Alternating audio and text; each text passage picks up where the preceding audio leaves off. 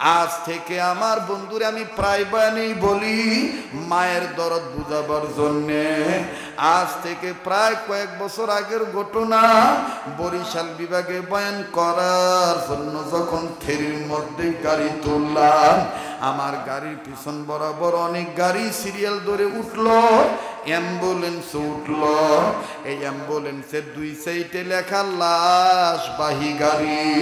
আমার বাইরে সামন সাইডে লুকিং গ্লাসের গোড়ায় লাল কাপড় টাঙানো।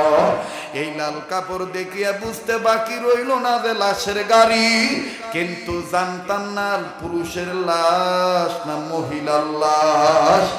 এ বন্ধু, লাশের জন্য দোয়া করে নিজের গাড়িতে উঠে গেলাম ফেরির মধ্যে যখন গাড়ি লোড হইয়া গেল, ব্যাগডালা উঠে গেল। মুসলমান ভাই রে, যার যার মতন সবাই গাড়িতে, অনেক প্যাসেঞ্জার ফেরির ভিতরে। আমার ভাইরে আমার গাড়ির পিছনে লুকিং গ্লাসটা নামাইলাম। আমার বাইরে উন্মুক্ত হাওয়া গ্রহণ করার জন্যে যখনই লুকিং গ্লাস নামাইলাম এ মাতাদির বাইরা, কান্না এলাকার বাবাজিরা মহাদেবপুর থানার বাব্বাইরা জয়পুরহাট জেলার বাব্বাইরা নৌকা জেলার বাবারা, গভীর মনোযোগ, যখনই আমি আমার এই লুকিং গ্লাসটা আমার গাড়ির পিছনের গ্লাসটা নামাইলাম, আস্তে আস্তে নামে আর পিছন থেকে একটা করুণ আওয়াজ আসে। একটা বাচ্চা চিৎকার দিয়া দিয়া কান্দার বলে, আব্বু ওই আব্বু, আমি আমার আম্মুর কাছে যাব। আমার আম্মুকে তুমি কাঠের বাক্সে বইরা রাখছো কেন? আমি আমার আম্মুর কাছে যাব, আমি আমার আম্মুর দুধু খাব। বাদান এই আওয়াজ যখন আমার কানে আসে, আমি ডাক দিয়ে বললাম, ওগো দয়ার আল্লাহ, এই ময়না বুঝে নাই, এই ময়নার মা কোনো দিন আর দুধ দিবে না। এই ময়নারে কে বুঝাবে যে এই ময়নার মা নাই? এই বাচ্চাটার মা চিরদিনের জন্য মারা গেছে। বাজান রে, টাইম যাইতে না যাইতেই এই বাচ্চাটা আবার পিছন থেকে চিৎকার দিয়া বলে, আব্বু, ওই আব্বু, আমি আমার আম্মুর কাছে যাব, আমি আমার আম্মুর কাছে যাব, আমি আমার আম্মুর দুধু খামো আম্বু তুমি আমার আম্মুকে কাঠের বাক্সে বইরা রাখছো কেন? দাদু বাড়িতে দাদুর কাছে বিচার দিব তুমি আমার মায়ের কাঠের বাক্সে বুঝা রাখছো কেন?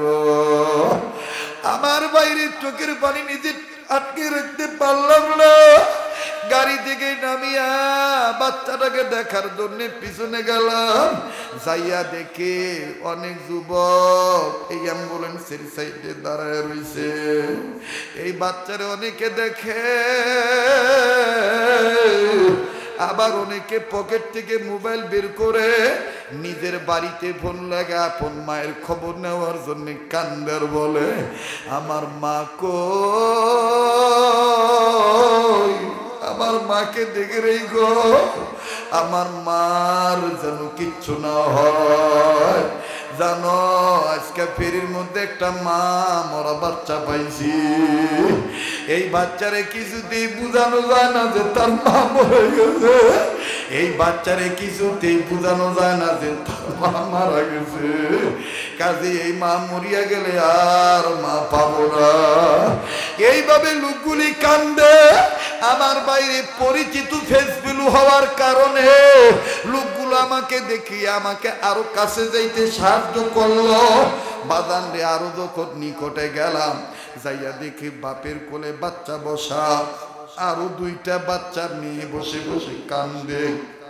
দুইটা মেয়ে আমার বাইরে আব্বুকে ডাক দিয়ে বলে, আব্বু, আম্মু না চুল এলোমেলো থাকলে আম্মু মার দেয় দাদু বাড়িতে এভাবে পাগলের মতন হয়ে যাব। আম্মু না পিটি দিবে। আব্বু, আম্মু, এটার ভিতর থেকে কি আর বের হবে না? বাগান বাপ নির্বাক হয়ে বাচ্চাগুলার দিকে তাকায় তাকায় খালি কান্দে। আর এই দুইটা মেয়ে বাচ্চা কখনো মায়ের লাশের বাক্সের উপরে মাথা এরকম করে ঠেকায় দেয়, আর এরকম করে ডলাডলি করে, আর কান্দার বলে, আম্মু আম্মু মরিয়া গেলে কি মেয়েদের সাথে কথা বলতে পারে না? ও আম্মু ভাইয়াকে কি দুধু দিবে না? এই তিনটা বাচ্চার কান্নার আওয়াজে আকাশ বাতাস কেমন জানি ভারী হইয়া গেছে। ওই মেয়েটা, মেয়েটার কান্না শুনিয়া, ছেলেটার কান্না দেখিয়া নিজেও তো ঠিক নাই রে বাবা। উপস্থিত অনেকে কান্দে।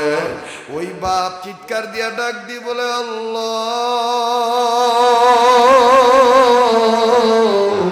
আমারে তুমি কোন পরীক্ষায় ফালাইলা? আমি এখন এই তিনটা এতিম বাচ্চা নিয়ে কার কাছে যাই? এদেরকে কেমনি বুঝে এদের মা দুনিয়া নাই? আমার বাইরে বাপ, এবার এই বাচ্চা ছেলেটাকে সান্ত্বনা দিয়ে বুকের সাথে মাথাটা ঠেকায় বলে, বেটা, তোর মাও নাই, তোর মা মারা গেছে। এইভাবে বলে যখন বুকের সাথে লাগায়, ছেলেটা রাগ হইয়া বিরক্ত হয়ে কসমস করে বাপের কামড় দিয়া জাতা দিয়া ধরে। এত ধরে কামড় দিছে, বাপের চেহারা কালো হইয়া যায়। মুসলমান বাইরে লোকটা মোটো বিরক্ত হয় না। কোন মতন বাচ্চাটার মুখ থেকে নিজের হাতের চামড়াটা ছুটাইল। এ বন্ধু, আমরা সবাই ডাক দিয়ে বললাম, ভাইয়া এই বাচ্চাগুলি বুঝে নাই যে এদের মা মারা গেছে। এদের আচরণে বিরক্ত হইেন না। লোকটাই কথা শোনার পর চোখের পানি ছেড়ে দিয়া নিজের হাতের কাপড় উঠাইয়া বিভিন্ন জায়গা দেখায় ডাক দিয়ে বলে, হুজুর, এই দেখেন আর কত সহ্য করা যায়। দেখেন হুজুর ঢাকা থেকে কামড়ানো শুরু করছে। ভাই, ভালো করে নজর করে দেখি জায়গায় জায়গায় কামড়ের দাগ, কানের নিচে রক্ত জমে গেছে, নাক থেকে রক্তগুলি ঝিরঝির করে পড়তেছে, গালে মুখে খামসির দাগ, কামড়ের দাগ। লোকটা কান্দার ডাক দিয়ে বলে, হুজুর গতকালকে থেকে আমার আমার কামড়ানো শুরু করছে। যখনই বলি, তোর মা মারা গেছে, তখনই আমার এইভাবে কামড় দেয়। হুজুর সইতে পারি হুজুর, আপনাদের কাছে একটা দোয়া চাই। আপনারা দোয়া করবেন, আল্লাহ যেন কোনো দিন কোন ছেলে মেয়ের কাছে থেকে বাপের আগে মায়ের যেন না নিয়ে যায়। কারণ মায়ের অভাব বাপ দ্বারা পূর্ণ হয় না গো আমার জন্য দোয়া করবে কাজে মুসলমান বাইরে এই মা বাবার হক আছে, আমার আপনার প্রতি তাদের জন্য দোয়া করে যাওয়া। তাদের নাজাতের জন্য দোয়া করা, তাদের কবর আজাব মাফের জন্য দোয়া করা, তাদেরকে যার নাম থেকে মুক্তি নেওয়ার ব্যবস্থার দোয়া করা। উন্মতের আলেমদের মজলিস পাইছেন, দোয়া না করে যায় না বাবা। আর পাঁচ, সাত মিনিটের মধ্যেই কথার ফিনিশিং আমি দোয়া করে বিদায় হয়ে চলে যাব।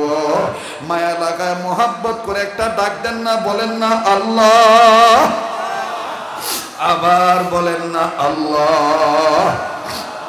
বাদান কাজে আমি জানি না কার মা আছে, কার বাপ নাই, কার মা আছে, কার বাবা নাই, কার আমার বন্ধুরে কার বাপ আছে, কার মা নাই, আবার কার মা নাই, কার বাপ নাই, আবার কার মা বাপ বিছানায় অসুস্থ পড়িয়া রইছে, একটু ধৈর্য ধরেন একসাথে মোনাজাত করে যাব।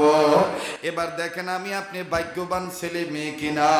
পয়গম্বার ডাক দিয়ে বললেন, আল্লাহ, এটা কেমন ভাগ্যবান সন্তান। যে সন্তানের সবক পড়ার উসিলায় আল্লাহ, তুমি তার বাপকে মাফ করে দিছ। আল্লাহ কি এমন সবক পড়ছে? তোমার দরবারে জানবার চাই। মরনা ফখর